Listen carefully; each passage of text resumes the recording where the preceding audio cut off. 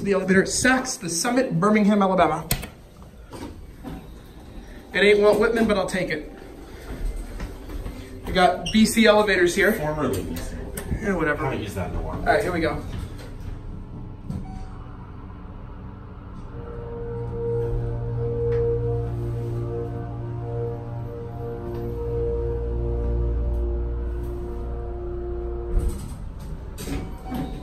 Definitely louder than Whitman.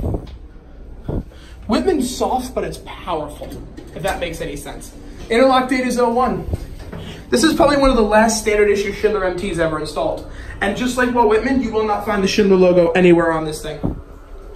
You'll find it on the escalator though, but we'll go one more time because I, I just love that Y Delta startup. You really don't get it like that. This is reminds me of an elevator that like Penney's would have the way it sounds.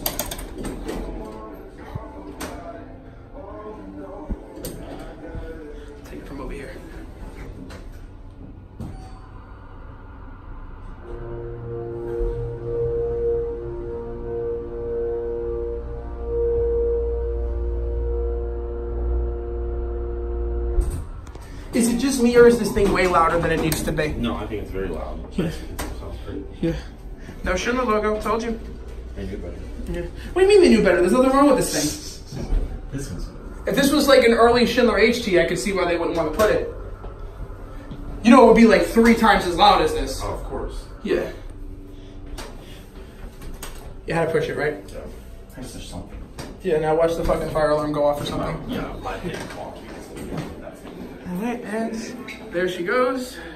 That wall is fake wallpaper, not real brick. Just pointing that out to show you that Walt Whitman's better, and that's it.